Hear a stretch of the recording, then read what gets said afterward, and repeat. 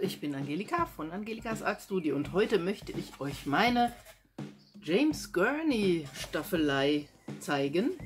Eine Urban Sketching Staffelei, die auf ein handelsübliches Stativ passt. Ähm, die Idee ist von dem Maler James Gurney. Er hat auch da ein Video drüber gemacht, das kann ich ja unten mal verlinken. Ja, und ich zeige euch jetzt mal, wie das funktioniert. Ja, meine Urban Sketching Staffelei, die ist hier zum Aufklappen.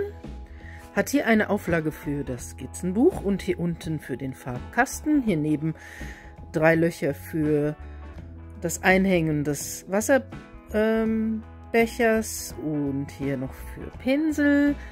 Hier unten die Kante verhindert, dass was runterrollt. Man kann hier zum Beispiel auch ein Radiergummi ablegen. Ja, und äh, sie hat auf der Unterseite ein Gewinde zum Anschluss an ein handelsübliches Fotostativ. Man kann das auch hier dann abnehmen. Und dann ist hier so ein äh, Schnellkupplungsadapter aufgeschraubt, das man auch entfernen kann. Um zum Beispiel ein anderes anzuschließen, wenn man jetzt zum Beispiel ein anderes Stativ benutzen möchte.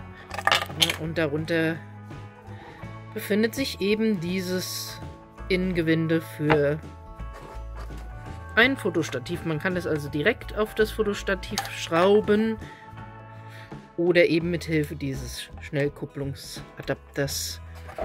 Ja, und dann kann ich das hier hier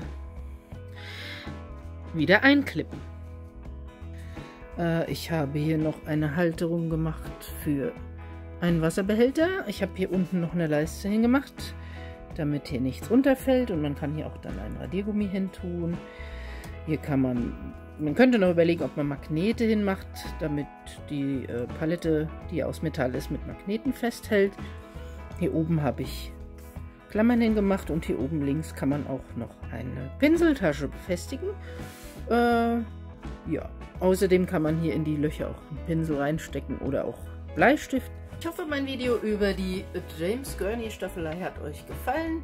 Ich lasse euch den Link zu seinem Video mal unten in der Infobox und auch die Links zu meinen Social Media, anderen Social Media Kontakten.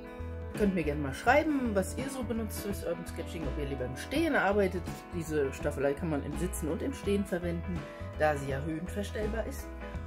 Und ähm, viel Spaß beim Urban Sketching. Wenn euch das Video gefallen hat, dann lasst mir doch ein Like da oder auch ein Abo, wenn ihr noch mehr sehen wollt, was ich so mache und baue. Alles über Aquarellmalerei und Urban Sketching auf meinem Kanal. Ich wünsche euch einen schönen Sonntag. Eure Angelika.